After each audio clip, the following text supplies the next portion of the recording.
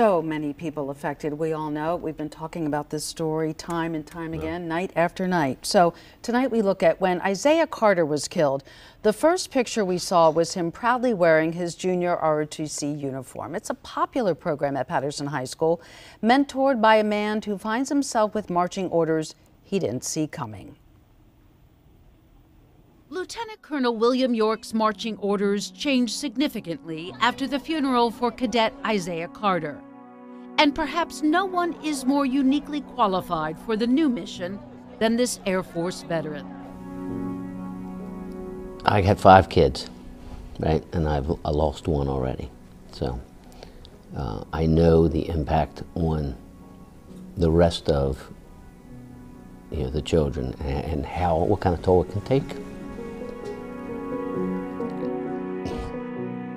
Been almost five years since his 20 year old son Joshua took his own life, making the colonel painfully aware of how the sudden loss of a young person impacts family. And I've watched my younger children struggle. Yeah, so I worry about it. These are all my kids. Yeah,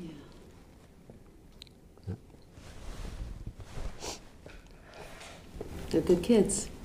Yeah. Aim, aim the point. Aim the point. Uh-huh. Nice shot. Colonel York's aim is to keep a very close eye on his junior ROTC cadets at Patterson High School, of which Izaiah was a new member. It's more helpful uh, mentally to um, find something positive to put the negative energy into Do you know what you did differently here?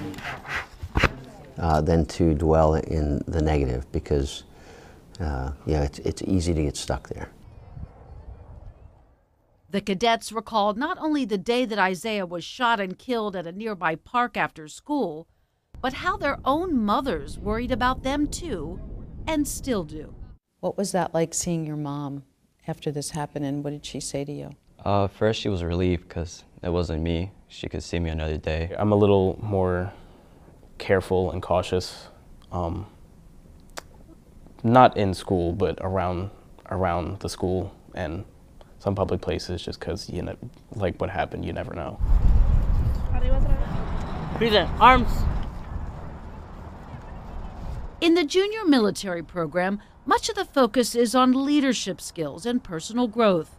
But the colonel has flagged mental health as something he needs to watch for too. What it's about is getting, getting the person who, the timing right of getting the person who needs the resource to the resource so that it doesn't escalate, right? So- How do you think they're doing? Excuse me. I was worried. Yeah. Um,